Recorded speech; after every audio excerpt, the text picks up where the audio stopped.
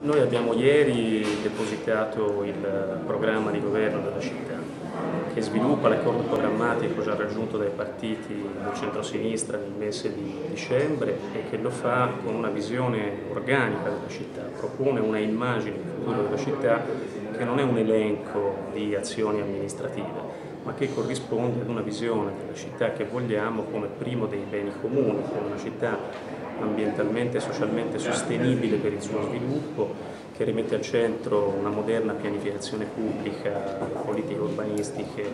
che abbiano questo taglio rigoroso di riorganizzazione diciamo, dei profili di governo del territorio, tant'è che il sindaco terrà la delega urbanistica, Vogliamo politiche ambientali più rigorose, politiche della mobilità più coraggiose. Proponiamo un'innovazione significativa che è ricostruire un assessorato che tenga insieme le politiche del welfare con le politiche dello sviluppo economico, perché il welfare sia davvero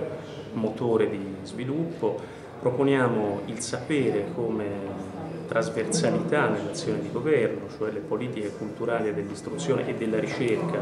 come il lievito di tutte le altre politiche, naturalmente con una visione improntata a grande realismo per la gestione delle risorse pubbliche, del patrimonio e delle partecipazioni aziendali che vogliamo ricondurre entro il perimetro delle funzioni istituzionali prevalenti perché il Comune non deve fare l'imprenditore, il Comune deve aiutare gli imprenditori a fare bene il loro mestiere, il Comune deve fare bene i suoi servizi essenziali.